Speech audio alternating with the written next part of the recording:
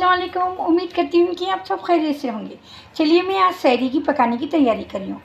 माशाल्लाह से मेरी ताजुब की नमाज़ भी हो चुकी है। अब मैं पकाने की तैयारी कर रही हूँ। ये चुके की भाजी अम्बड़े की भाजी धो के साफ़ करके रख ली हूँ। ये टमाटे है, ये सोया है, ये हरी मिर्ची है, ये खोतीमीर है, ये गोश्त है, इसको भी साफ़ करके धो के रख ली हूँ। ये अदरक लहसुन का पेस्ट है, ये तेल है, ये नमक है, ये हल्दी, ये हरी मिर्ची। चलिए मैं झटपट बना लूँगी। शहरी में टाइम बहुत कम रहता है ना, आप लोग देख सकते हैं। बिस्मिल्लाह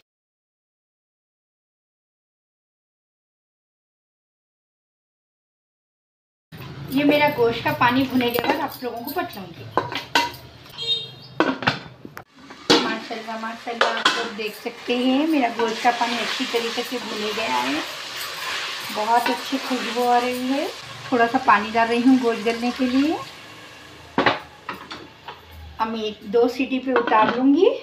माशाल्लाह माशाल्लाह, आप लोग देख सकते हैं। ये मेरा गोश्त और हरी मिर्ची अच्छी तरीके से भुनी गई हैं। अब मैं ये सोया डाल रही हूँ। कोथिमीर डाल रही हूँ। अब मैं ये डाल रही हूँ। अब मैं इसमें पानी नहीं मिलाऊँगी। पानी बहुत छोड़ता है भाजी में। अब मैं एक दो सीटी लगा लूँगी। देख सकते हैं। उधर मेरी भाजी गले तक मैं ये चावल मत के रख ली हूँ। ये चार पानी से धो के साफ़ करके रख ली हूँ। अब मैं भाजी पके तक इधर खाना भी चढ़ा लूँगी आज मेरा मन नहीं बोल रहा था रोटी खाने के लिए, इसलिए मैं चावल बना रही हूँ।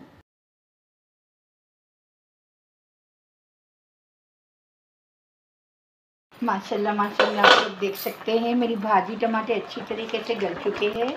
अब मैं इसको घोट लूँगी। मैं ये नमक डाल लूँगी। अब मैं इसको अच्छी तरीके से ऐसी घोट लूँगी। आपको घोटे बाद बतलाऊँ माशाल्लाह माशाल्लाह, आप लोग देख सकते हैं, इधर मेरा खाना भी पक चुका है।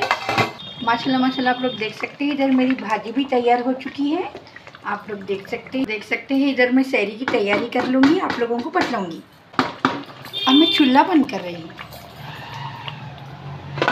माशाल्लाह माशाल्लाह, आप लोग देख सकते हैं, ये बटका सालन है। रात में बनाई थी, बच गया तो मैं सैरी करने के लिए थोड़ा सा रख ये चुके की भाजी अम्बाड़ी की भाजी है, ये सैरी के लिए बनाई हूँ मैं। ये खाना है, ये दही है, ये थोड़े से अंगूर है, ये सपोटे है, ये केक है। चलिए मैं अब सैरी करना शुरू कर रही हूँ।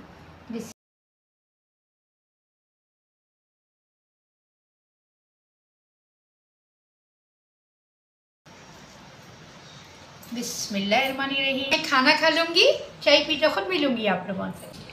मैं होटल की चाय मंगाई हूँ। का टाइम नहीं था तो मैं होटल की चाय मंगा ली हूँ।